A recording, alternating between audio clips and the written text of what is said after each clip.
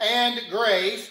We're in Romans chapter 1, verses 1 through 7. Romans 1, 1 through 7. I'm going to ask you to rise to your feet as always and pay tribute to the reading of God's Word. Greetings of glory and grace, Romans 1, 1 through 7. Beginning in verse 1, it says, Paul, a servant of Jesus Christ, called to be an apostle, separated into the gospel of God, which he had promised afore by his prophets in the Holy Scripture, concerning his Son, Jesus Christ, our Lord, which was made of the seed of David, according to the flesh, and declared to be the Son of God with power, according to the Spirit of holiness, by the resurrection from the dead, by whom we have received grace and apostleship, for obedience to the faith among all nations for his name, among whom are ye also the called of Jesus Christ. To all that be in Rome, beloved of God, called to be saints, grace to you and peace from God our Father and the Lord Jesus Christ. Heavenly Father, we come this morning. God, as we share in your word, I pray that as we see through the eyes of Paul and through the life of Paul, inspired by the Spirit, that God, it would challenge us and, and, and to understand and to see plainly that Paul introduces to the church of Rome Jesus Christ. I pray today, dear Heavenly Father, that we in our own lives uh, would see uh, Jesus Christ for who he truly is. And God understand that Paul, who was a persecutor of the church, how his life had been radically changed because of Jesus. And for Paul, that Jesus Christ is real. That Jesus Christ is the Son of God. That Jesus Christ uh, is the Savior of the world. And God, that we can put our faith and trust in Jesus Christ. Just be with us, watch over, care for, and keep us, for we ask it in Jesus' name. Amen. As Paul always done, Paul had a greeting to his audience. And most of the time, I, on Wednesday night, we have shared that, that Paul always wanted people to have this grace because grace had radically changed the life of Jesus Christ as it has for many of us. Now, uh, Paul comes and, and he gives this greeting that is expressed. And he, again, this greeting that Paul shares. And my, my hope is today that you see Jesus Christ as Paul has seen Jesus Christ. Uh, in the fact that, that Paul is convinced in the deity and all of Jesus Christ, how he was human, how he was God, how he was the Savior of the world. And so Paul comes to the church at Rome and he writes the greeting and he expresses this greeting in verse 1 this way. His greeting is like this. He himself, greeting the church, puts it this way in verse 1. He says, Paul, a servant of Jesus Christ, called to be an apostle, separated uh, unto uh, the gospel of God.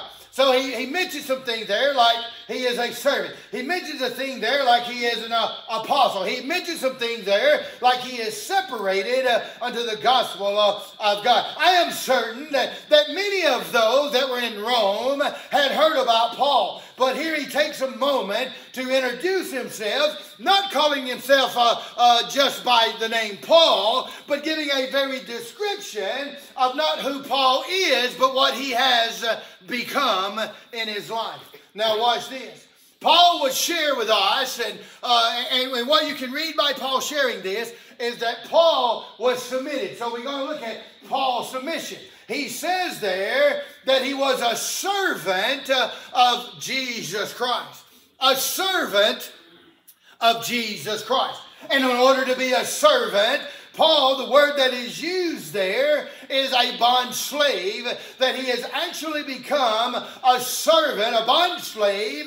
He reveals that he is a slave of Jesus Christ. Matter of fact, that he is bound in service to Jesus Christ. Now, what I want you to know about Paul is this, is that he does not say that in resentment. It is not a bad thing in Paul's life to be a servant of Jesus Christ. It is not derogatory in any way. It is not something that has bummed him out there. No, no. Matter of fact, Paul would share uh, that I hope that you and I would see that when we are a servant of Jesus Christ, when we are, are bound in service to Him, and when we are, are, are under the authority of Jesus Christ, it is a position of great joy. Paul had reached the pinnacle of success as a Pharisee, no doubt but, uh, but yet he rejoiced in his salvation that had happened in Jesus Christ. Matter of fact, this is what Paul is saying. I give up all the worldly success. I give up everything. See, Paul was on the pinnacle as a Pharisee, but now he becomes a, a servant, a slave of Jesus Christ.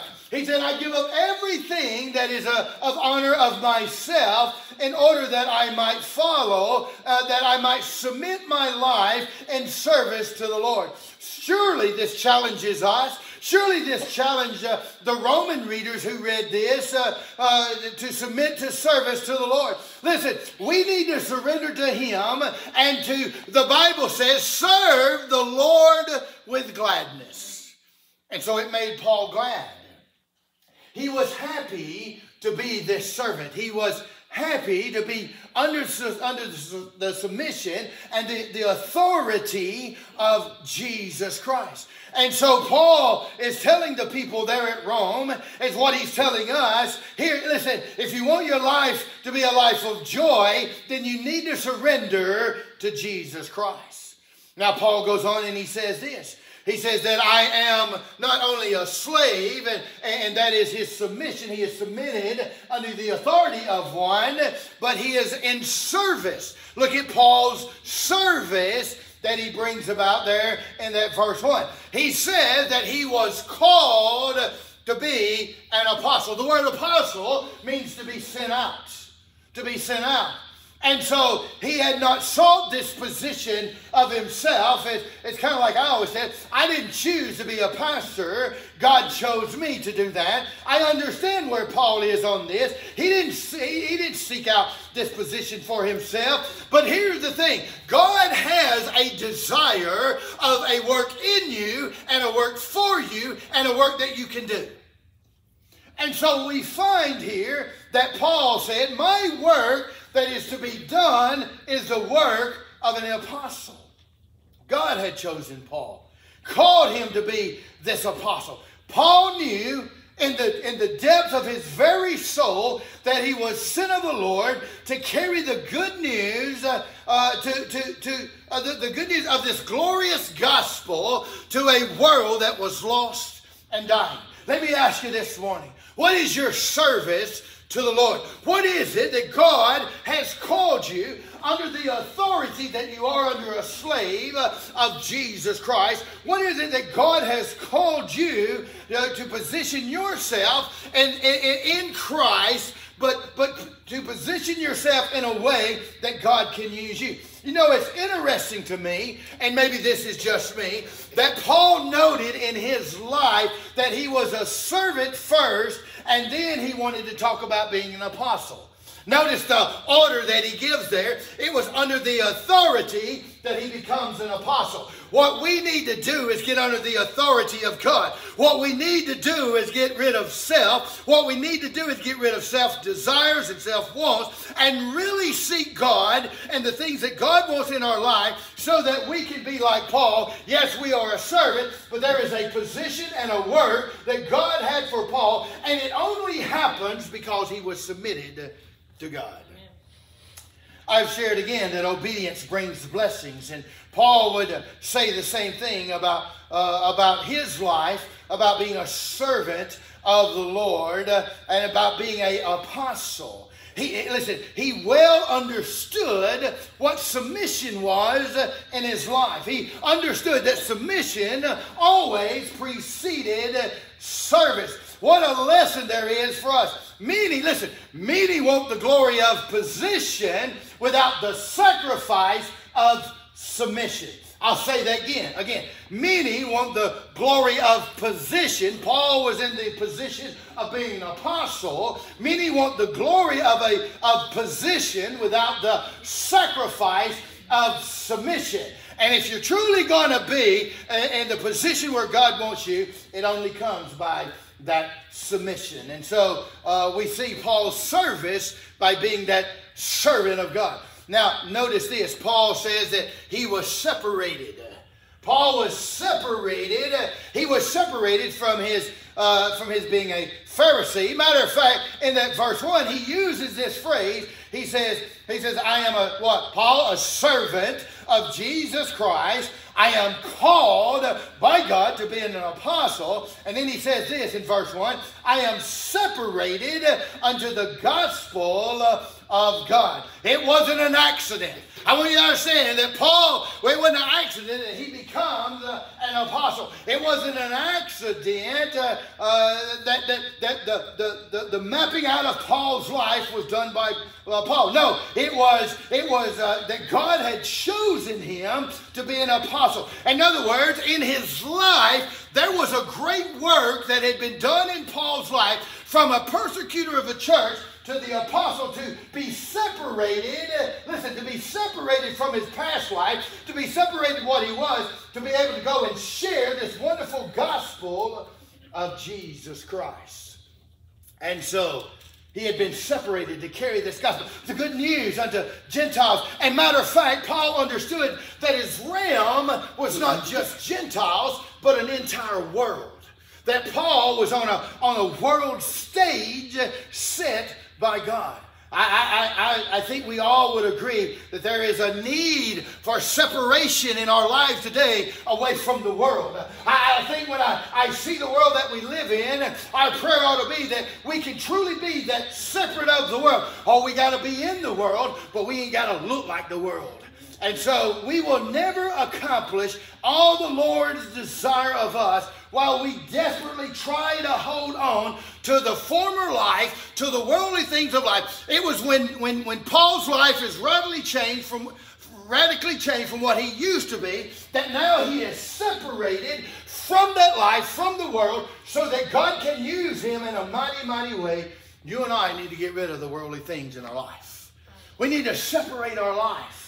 We need to separate from the former life. We need to separate. You know, that's what God does. That's what salvation does. Uh, we who once was afar off from God, who changes our lives radically so that we can then uh, uh, uh, forget our former life. We're a new creature. It's not, again, it's not us just changed. It's we're a new creature. Our former life has gone away.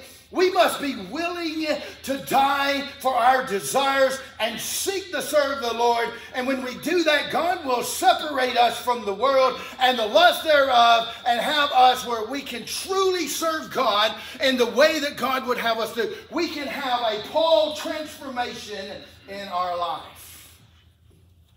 So Paul goes on and says this. He says, But I, all of this that happened in my life, to be a slave to be apostle, to be separated from my former life. Anybody here today need that? I'm telling you, it comes by salvation. To, to separate you from your old life, to separate you from the devil, to separate you from, from, from, from listen, from all that sin in your life. It only comes by, uh, by Jesus Christ and the gospel. And that's where Paul goes next. Paul shares in the glory exalted. Watch this Paul does not come to seek him, uh, to, to exalt himself. Paul seeks to exalt the glory of the Lord Jesus Christ, who radically changes his life, and that he wants Rome, he wants the Romans to know that Jesus is who he says that he is, because he had made a difference in the life of Paul, once a great Pharisee, but now an apostle preaching the gospel of Jesus Christ. Uh, he, he wants to take a moment. And here's what he does. And introducing himself, yes, that's what he done. But, but there's nothing like what he's about to. He says, I want to really introduce to you, though, the one who made me who I am. I want to introduce you to Jesus Christ. Hey, Rome, Rome probably had heard, or maybe some people in Rome had heard about Jesus Christ. But Paul says, I want you to understand by my own account. I want you to understand by my life who Jesus is. And so that Paul's going to make not an argument, but a fact of the life of Jesus Christ. And it is his life is the greatest example of the work of Jesus Christ in, in, in a person's life. And so here's what he says. He starts off and he says, This Jesus Christ is the one that was prophesied. The prophecy. Look at this, the prophecy. Because in verse 2, Paul writes here, he says, which was what? Which he had promised afore by his prophets in the Holy Scripture. Now, again, this gospel is the good news of Jesus. And this good news that, that Paul is sharing is the one that the prophets of old wrote about how this one that was going to come, he was going to be crucified and he was going to die. Well, that's nothing special about that. But there was going to be something different that the prophet said about this one that he was going to raise from the dead. And so it was the crucifixion, the, the, the, the, death, the, the burial, and the, and the resurrection. Again, how did Paul know? Because Paul speaks to him on the road to Damascus. They have a conversation with Jesus Christ. Paul goes blind because Christ appears to Jesus to tell him all this, to tell him that he's an apostle, to say that you're going to go and you're going to preach.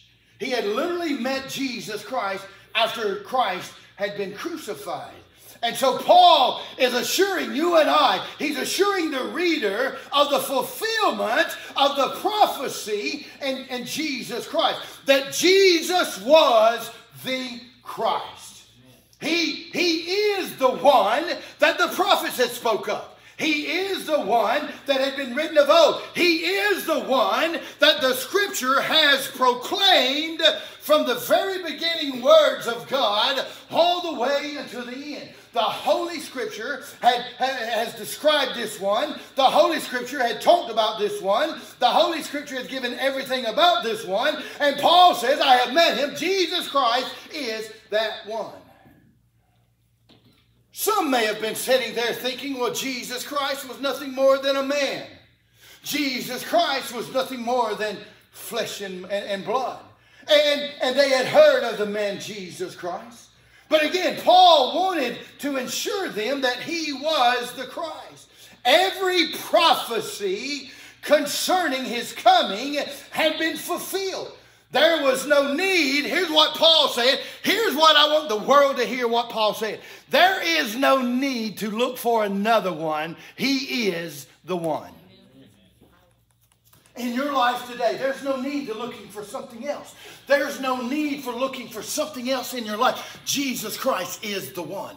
He's the one that the prophet spoke of. He's the one that that that that, that you know that prophecy was. He's the one of the of the Old Testament uh, scripture. He's the one of the New Testament scripture. He's the one that Paul had met in flesh and blood.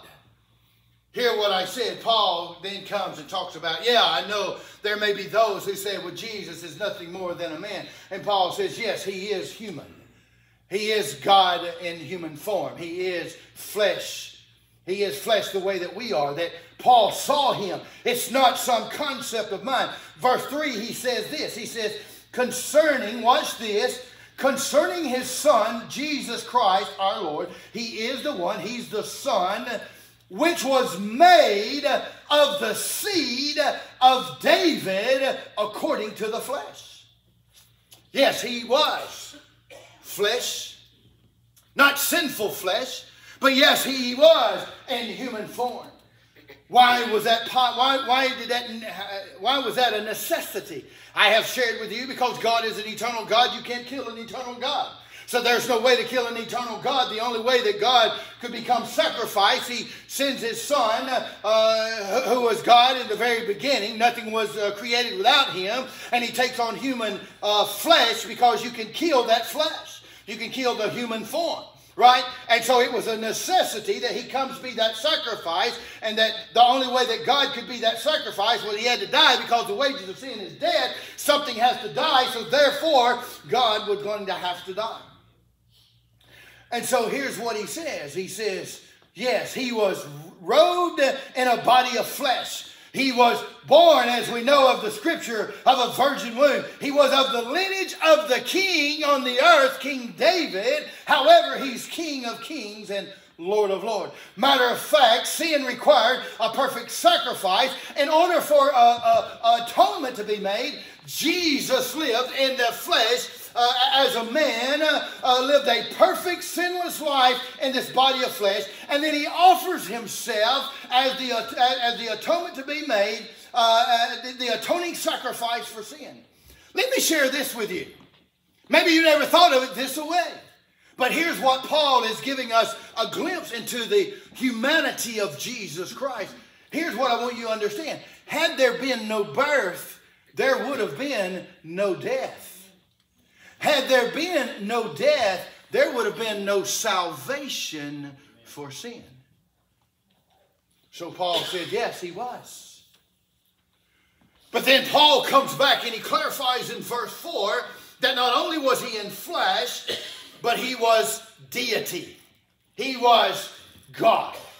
In verse 4, he says this and declared to be the Son of God. Yes, his lineage was of the seed of David that give him the human side, but notice that he was the Son of God, and he says this. And by the way, I want you to understand this is a, a great thing with Paul. Paul said it's not just done that he's the Son of God, but he is Son of God with power. Look at verse 4 to be the Son of God with power according to the Spirit of holiness by the resurrection from the dead. So Paul says Jesus is like no one else.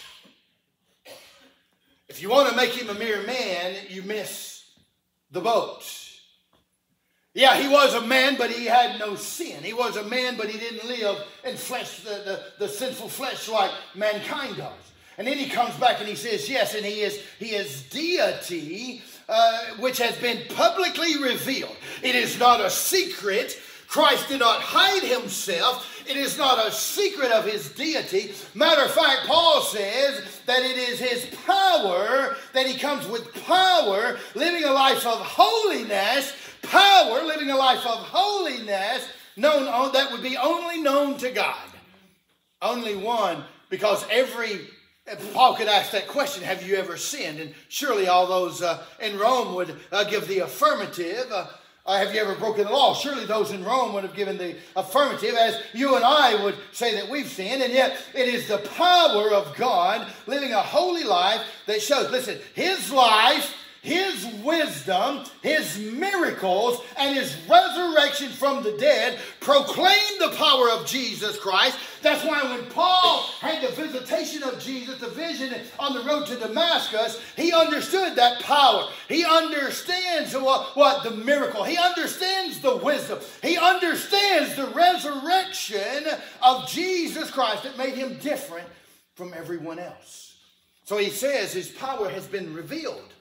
It has been seen in his life. It has been seen in his teachings, in his wisdom. It has been seen in how he died and how he rose from the dead. It has been seen in the miracles that he performed for those that were around him. So Paul wanted to affirm the fact that Jesus was without a doubt the Christ, possessing power, he possessed deity, he possessed his holiness, all of God the Father. And then Paul says this, and all of that leads to victory. All of that is victory. Verse 4 and declared to be the Son of God with power, according to the Spirit of holiness, by the one thing that always defeats man is death. Jesus Christ was raised from the dead. And not only that, but Jesus Christ by our faith and trust in Him, gives us the ability to live life after this life. That we too might be raised in the newness of life. That literally, listen, He came to atone for sin, and that He did, and that He did as He as He bled and He died upon the cross. What a perfect picture of the atonement. What is atonement? At one month with God. At one with God. And so we find the atonement allows us to be at one with God. However, if the cross had been the end, we would have been without hope. Paul said, But I met him. I met him after the cross. I met him after the grave. He, listen, had he not risen from the dead, yeah, well, maybe God could have forgiven, gave us. Yeah, but there would be no hope of eternal life because of conquering death, he becomes life for us and gives us that eternal life by defeating death and the grave and that cross and that power, that victorious Jesus. Paul says he's the one. But here's the close of this. Paul says, But here's what I want you to know, Rome. Here's what I want you to know, people that all that I've shared about meeting my Jesus, He extends that to you. He gives that to you. When people say, Do you believe that Jesus is the only way? Absolutely. Paul would agree Jesus Christ is the only way. That it is the grace extended as he concludes his greeting. And again, this is just a greeting to Rome. He's setting the stage that I want you to meet Jesus. I want you to understand Jesus is real. I want you to understand Jesus is the only one that can save. I want you to understand that Jesus is the one the Old Testament wrote about. I want you to understand that Jesus is the one that the prophets prophesied. I want you to understand that every prophecy about Jesus Christ is found in the man Jesus Christ. He is the Christ. He is the Son of God. He is the one. He's the victorious one. And so he comes back and he says, he takes a moment to uh, address that we sing about the amazing grace.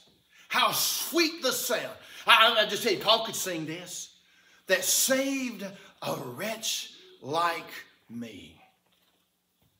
I once was lost, but now I'm found. Was blind, could Paul say that on the road to Damascus? But in his life before that, was blind, but now I see. This wonderful grace of Jesus Christ. He is who he says that he is. And he does what he says he can do. He is the Savior of the world. And he goes on and he says, let me, let me, let me show you the rendering of this grace. He says, by whom, look at verse 5, the first part of verse 5 by whom we have received grace. Paul, Paul, says, by whom it is this man Jesus that I receive my grace. It is this man Jesus who I receive my apostleship from. The, the, the source and the foundation of the grace in my life, the source and the foundation of the apostleship Paul is very aware of all that Christ had accomplished uh, in his life. Uh, that Christ had accomplished for him, Paul, the persecutor, who is now the preacher of the gospel. He knew apart from Christ that he would yet be in his sin. Uh, apart from Christ, he would be lost. He would be condemned before God. Of the sinners, I was, I was, not am, I was the chief. Had it not been for Jesus Christ, he still would have been in that was. His was would become I am. He would not have received, Paul understood, this glorious calling to share the good news. It was all of Jesus Christ and the work of Christ in his life. Listen, we too must recognize that all of grace comes by Jesus Christ and Jesus Christ alone. There is nothing else.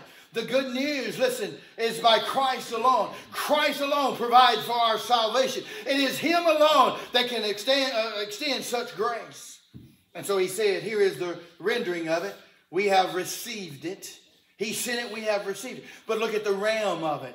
Paul says, I want you to see the realm, uh, the, the, the whole being of it. Verse 5, the latter part there, it says, For obedience to the faith among all nations Paul said, "Hey, uh, uh, listen, church at Rome. It's just not. It's not me. And, and, I understand you are a church, and I want you to understand that you can put your faith and trust in God, and you have. You you are the church there. But hold on to that fact because the the, the realm of His grace reaches uh, even even to Rome and the whole world." Paul was again a Pharisee among Pharisees. He was one of the elite within Jerusalem, and yet he was totally lost without Jesus Christ. He was somebody as far as the Pharisees, but was a nobody without Christ. And he knew the significance of grace and what he had received. Paul realized this grace was not preserved just for him. And Paul understands it's not just preserved for the Jews because he's preaching it to the Gentiles and Gentiles are being saved. You know, we live a life that are uh, that's sheltered, no doubt, here where we live. We we tend to think that everyone has heard of the gospel, and we think that everyone has driven by a church, or our people was raised in church, or they're familiar with the Bible. But but here's here's what Paul says. Hey, listen, not everybody's heard, and the gospel is good for every nation, for every tongue, for every people, for every person worldwide. This is what he said. Here's the recipient because Paul himself had been a recipient of this grace. Listen to look at verses 6 and the first part of 7 there. He said, Among whom are ye also the called of Jesus? Writing to the church at Rome. Hey, you, listen, put your faith in, you put your faith and trust, hold on to your salvation. Know that what Christ has done in your life is real. Know that what Christ has done in saving you, there's no salvation by any other. You're saved to the uttermost. Among whom are you also the called of Jesus Christ to all that be in, in Rome, beloved of God, called to be saints. In the days to come, there's going to be many struggles in Paul's life uh, for the church. The church at Corinth, the church at Philippi, the church at Ephesus. There's going to be many struggles for ahead for the believers. Knowing, uh, knowing Christ and salvation is not going to shield them from, from some of the tragedies of life. And it's not going to shield uh, the Christian from adversity. But Paul knew their faith uh, is going to be tested, no doubt. And, and, they would hear much her- heresy. And, and they're going to hear a lot of false doctrine. But listen, the Judaizers are going to whisper in their ear and tell them their salvation is nothing. And yet Paul wanted them to know that, listen, that they, it was an amazing fact that they were the people of God, the children of God. You're here today, listen, and you got struggles in your life. I want you to know God already knows that, but that has nothing to do with you being a child of the King. It's amazing to be a part of God's family. We have been made righteous, rightness with God through the blood of Jesus Christ. And we can, we can hold on to that. We, we, we have the blessed hope that Paul is sharing with Rome there of eternal life because of Jesus. Paul says, Let me introduce you to Jesus. Let me introduce you to Jesus. In a life where, that is full of flesh, Paul says, here's one that came in flesh that knew no sin. Let me introduce you to Jesus. In a world where mankind is afraid to die, Paul said, here's one that was crucified and died and raised uh, uh, from the dead and was victorious. Let me introduce you to Jesus. Paul said, in my own life, where I was a persecutor, where I was dirty and filthy and, and ugly and sin had encapsulated my life, Jesus' wonderful grace came and saved me. Let me introduce you to Jesus. When the world is whispering in your ear, let me introduce you to Jesus. When you're going through adversity, let me introduce you to Jesus. When, there, when your faith is being tested, let me introduce you to Jesus. Uh, uh, all who have trusted, Paul was said, Paul said, who have trusted in Christ and salvation, uh, realizing their need of a Savior, repenting of their sin and believing in faith, is secure. Let me introduce you to the man named Jesus. Secured in Jesus. Again, it's amazing to be considered to be a part of God's family. That we've uh, been uh, we've, we've been recipients of such grace. And then here's what Paul does. He doesn't leave, here's where he closes in that verse 7. And he says, and I want you to have it. I've introduced you to Jesus, and I want you to have that grace. I want you to see that grace. I want you to understand that grace. And so the request for grace, Paul literally makes a request for grace to those that he is writing to. Verse 7, the last part, he says, Grace to you and peace from God our Father and the Lord Jesus Christ. Paul says, I want to comfort your heart. Listen, if you know Jesus today and He's your Savior, find comfort. Have comfort in your heart. Even when there's tragedy, even when there's struggle, find comfort in your heart. And be encouraged in your faith uh, because there's Jesus.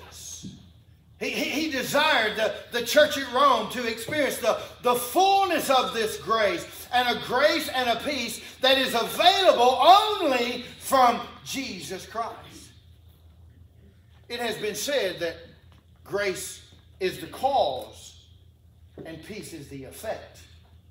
And that is so true, no doubt.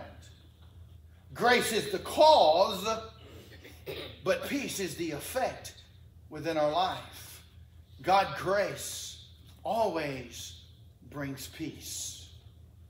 In Paul's life, when he had struggled about his past, he finally found that peace in being a servant of God, a servant of Jesus Christ, and an apostle to go and preach the gospel to the nations, to every tongue, because Jesus is real.